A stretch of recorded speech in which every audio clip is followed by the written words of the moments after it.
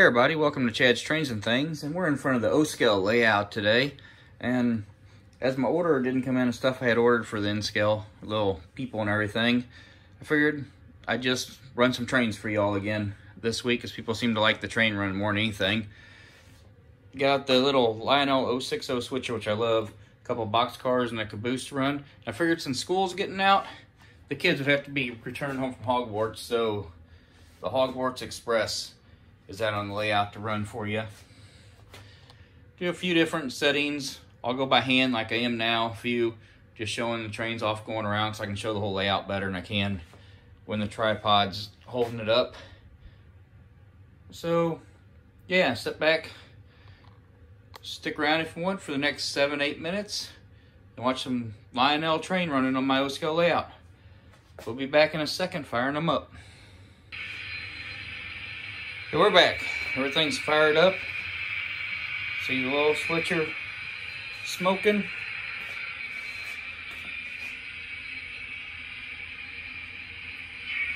Showing everything lit up. And So, your train leaves in 10 minutes. There's your ticket. Stick to it, Harry. That's very important. Stick to your ticket.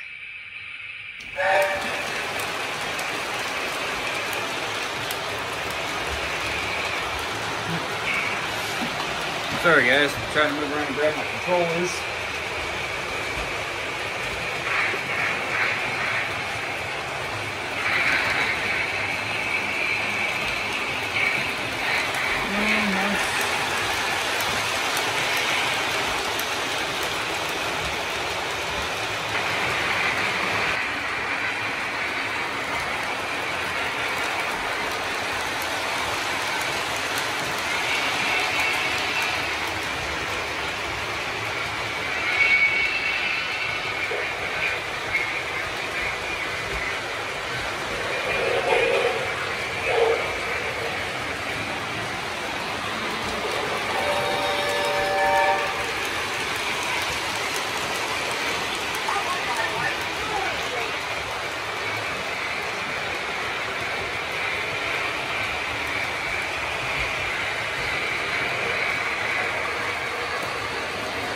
Uh-oh.